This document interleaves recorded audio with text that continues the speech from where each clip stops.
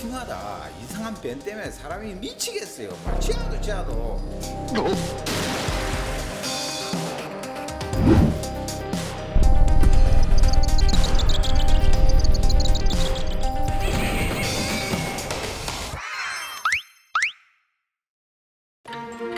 그래도 이제 뭐 장사는 하겠습니까 이거? 여기 얘네들이 집단으로 살아요 여기에서.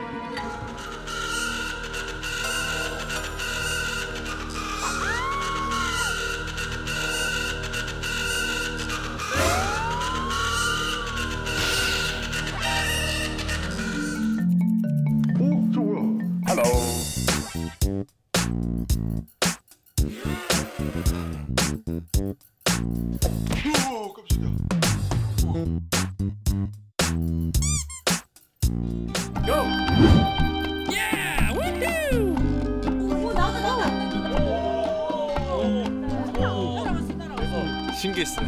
저 박씨 처음 보거든요. 건물 밑에 이렇게 이렇게 군집해서 사는 건 처음 봐요.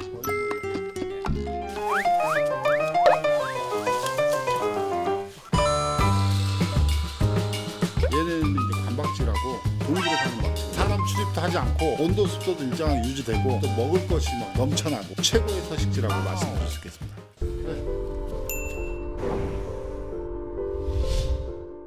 물을 먹여가지고 엄마들이 어, 있는 데다가